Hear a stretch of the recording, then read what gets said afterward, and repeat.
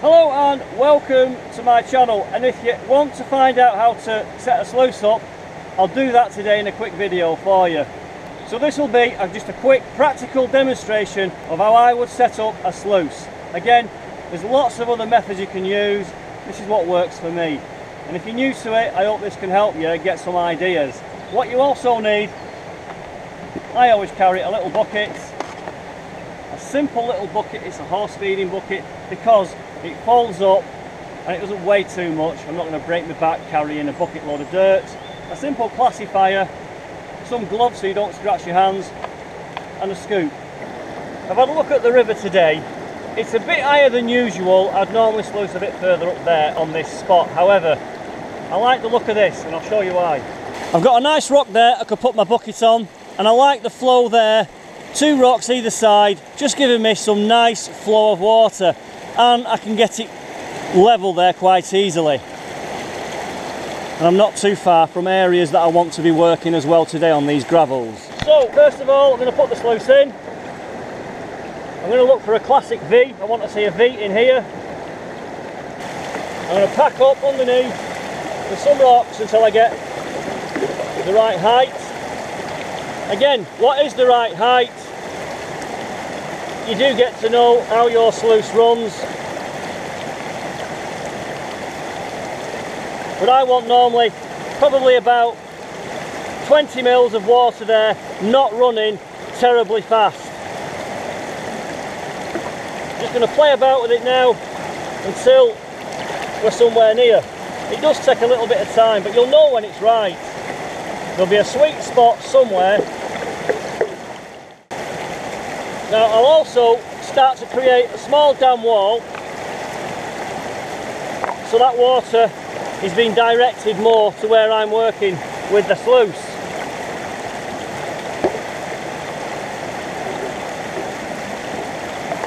I don't like that rock at the moment there. Okay, it's probably took me now about five minutes just to work the sluice. I don't really bother too much about the drop I mean, yeah, there should be a certain drop, so many inches per feet. But what I find when I'm working with this sluice, when it's right, it clears here in good time, and it also clears down here. If it's not right, there's an imbalance. So I've already got a few handfuls of dirt just to see how it's looking at the moment. It's clearing some of the bigger ones. I'm also looking for the lines there. Is it balanced left to right? And to me, that's quite level both ways. And uh, another good thing I look for is can I see that top mat? Can I physically look at it and inspect the gold with the flow? So I'm happy with that at the moment. It just needs to be secured so it doesn't go washing off downstream. So what I do, I tend to build up around the area using the flare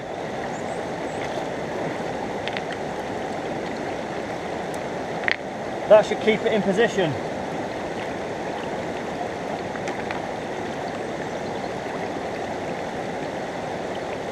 Right, I think we're good to go. Okay, we've got the sluice now set up over there. We're on an inside line of a gravel bar with fine gravels and a few heavies. So we're going to quickly get a few scoops, fill the bucket and process the dirt and we'll see if there's any small flood gold because where we are now it really has been high, the water. I think last week it was 2.5 metres high, that's really high. So when we talk about where are we on the river, this is a nice inside line. Things start to drop out with all these low pressure points where the bedrock is there that will cause things to drop out. This outcrop here of dirt and bedrock and trees allows all this to drop out very quickly. The finer heavier things drop out on this side first. And then when we get a bit further down the uh, the line the heavier rocks start to fall. But this is all about being a new prospector. If you're new trying to get into it this is what I would do to try and find some of the good stuff. And believe me it took me forever to find some. I was getting quite fed up with it in the end but when you see that first speck of gold in your pan you get the fever. So get the dirt. That's all the dirt looks like on this section. Simple gravels. Classify it out.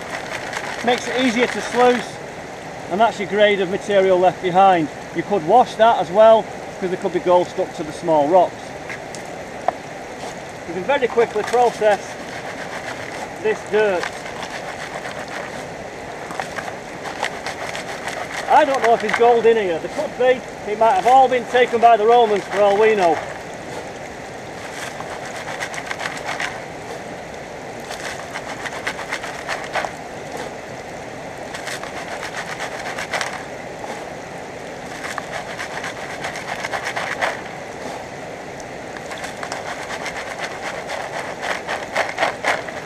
And again, for all you experts out there, if you were to do it the proper way, this is a quick demonstration, you might do a test pan there, you might do a test pan there, and a test pan there, so you go across that looking for the goal line. But I just want to show you how I set my sluice up. Okay, there is the big rock, perfect for me that, for putting the bucket on, as well as kneeling down, but underneath here, I've got some knee pads, so if you're worried about my health and my knees, I've got it covered there. Right, get the scoop, not too much, and just gently feed it in like that. That's all you need to do, a nice gentle feed. It's clearing nicely there.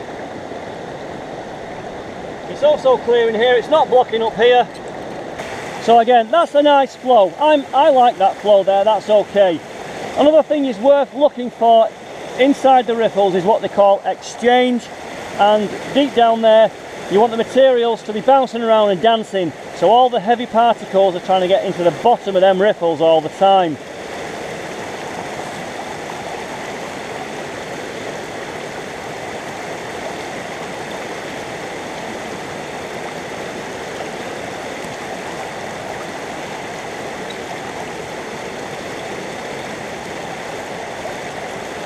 You see there, it's clearing nicely.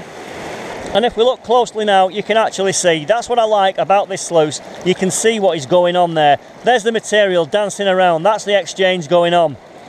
All the lighter particles will eventually fall out and down out into the river. I can already see some shiny after what, maybe two or three scoops. Okay, so yeah, there is some shiny on that top mat. The top mat helps you find the gold quicker, you can see it. So on there now, we've moved three of them. I'll show you in the bucket. That's all I've moved so far. And there is a nice little piece of gold there, shiny, tiny gold. Probably another little speck to the left and to the right. And I maybe think another little piece down there. So this is all flood gold from the recent flooding we had the other day.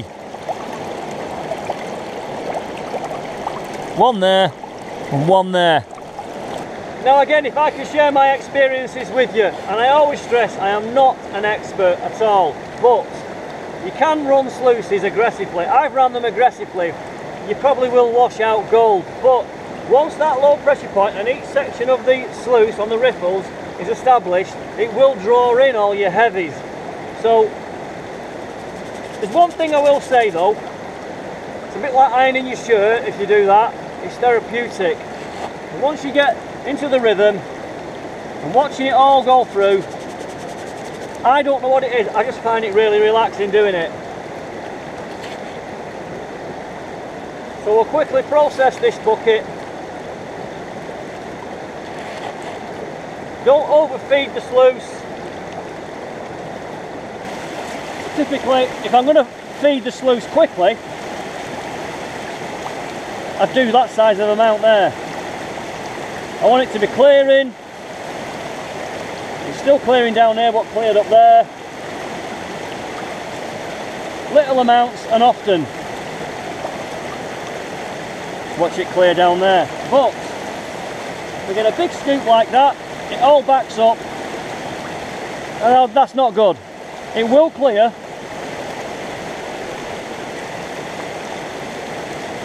but I don't think it's, it's not efficient doing it that way. And now there's the tailings pile. Time to clear the tailings pile.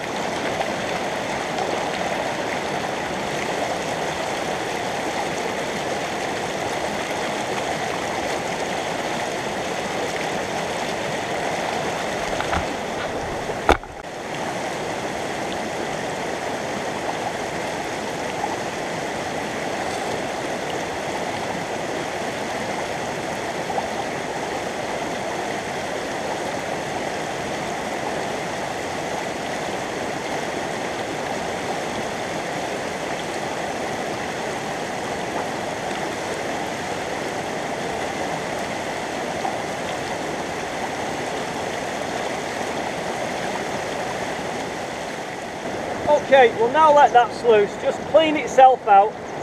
Let most of the material work its way out and then just be left with the heavier particles. And we'll do one clean up from one bucket and just see what's in there. Right, what we'll do now, we will do a clear out. It's cleared itself enough now just to process that in a pan. So we carefully pick up the sluice, keep it nice and level.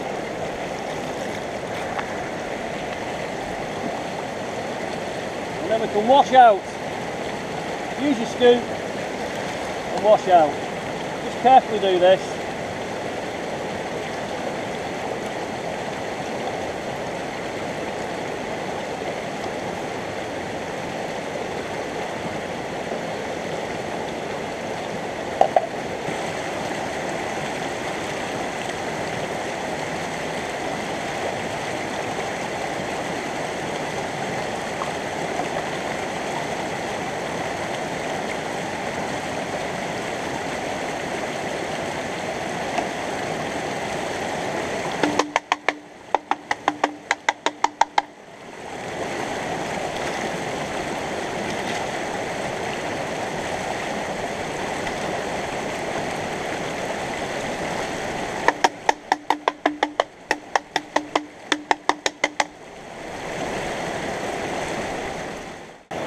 And there are the concentrates from the sluice. So work them in with your hand a little bit. Yeah that's fine.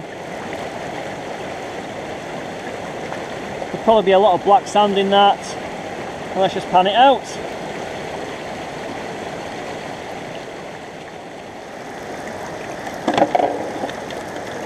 Okay we've done a clean up and there's gold in the pan. Don't expect nuggets. Don't expect to even see it to be honest. But there's probably about 20 pieces in there of very fine flour gold. But if you can imagine spending a couple of hours with your mate, working away them gravels gently and processing it, you'd end up with visible gold in the bottom of your pan. Well, let's have a look. As you can see now there, that's a visible piece of gold there and here and there. Lots and lots of very small stuff. This camera never shows it up. There's a small piece there. So if you're doing the numbers, it's pretty good.